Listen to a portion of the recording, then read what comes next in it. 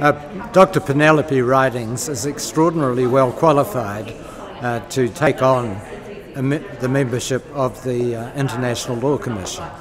She is experienced in negotiation, she's experienced in advocacy, uh, she's experienced in legal advising, and she's done that across a wide range of matters. She's appeared, for instance, as an advocate in the International Court of Justice and in the International Tribunal on the Law of the Sea.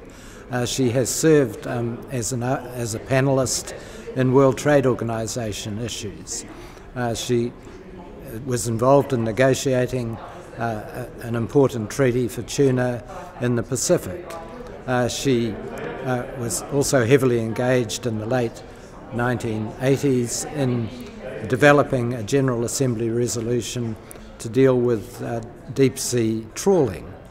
Uh, and she uh, brings a particular New Zealand perspective to the role of uh, the Commission, a perspective that draws on a long tradition in New, in New Zealand of able international lawyers getting on with the practical business of lawmaking, uh, and in particular, she follows from Quentin Quentin Baxter and from Bill Mansfield, who have made major contributions to the um, work of the Commission over many years.